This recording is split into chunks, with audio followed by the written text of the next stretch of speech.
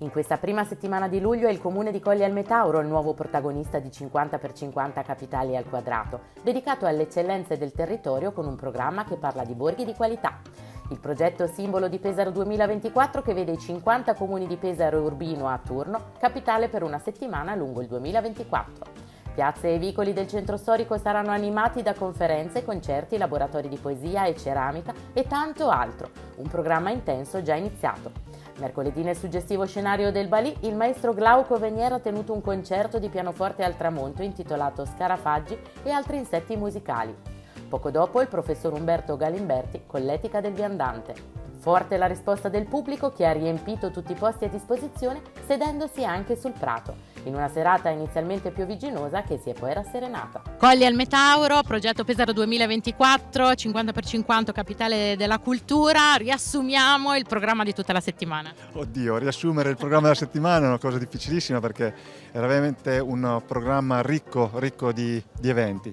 Abbiamo iniziato lunedì con l'inaugurazione e il leitmotiv comunque del, di questa settimana è stata la valorizzazione di quelli che sono i nostri borghi, oltre logicamente a questo aspetto splendida location in cui siamo questa sera, che è il Museo del Balì, che lo ricordo sempre a tutti, è stato tra i primi quattro musei in Italia, scientifici in Italia, questo è un riconoscimento da parte della, del Ministero del MIUR, eh, al pari di Firenze, Milano e Napoli. Quindi parliamo di un'eccellenza del nostro territorio, proprio sull'eccellenza abbiamo, abbiamo, focalizzato la nostra attenzione.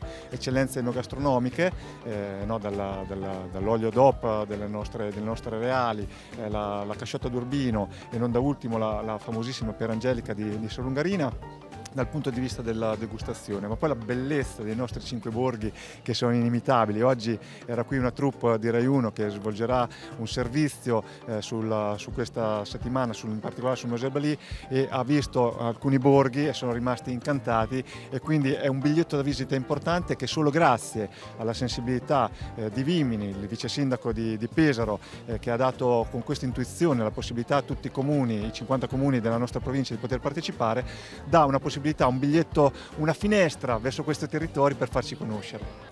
Scarafaggi e altri insetti musicali, un titolo particolarissimo che ha scelto questo, per questo concerto, ci racconti?